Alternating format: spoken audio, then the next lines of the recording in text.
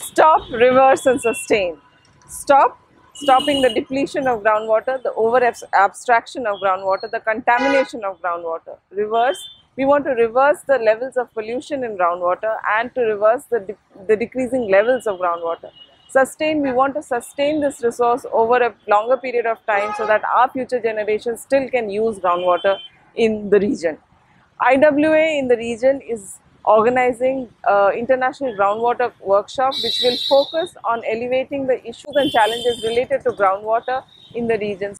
As is the case across the world, in this region groundwater is becoming a scarce resource and for India almost 70% of its groundwater reserves are used for agricultural production. At the same time, 80% of the rural drinking water supply comes from groundwater reserves. This clearly shows that groundwater is an important driver for social and economic growth in the region and therefore there is a need to bring this on the police policy arena to take make it more relevant and have actions that will make the groundwater sustained over a larger period of time.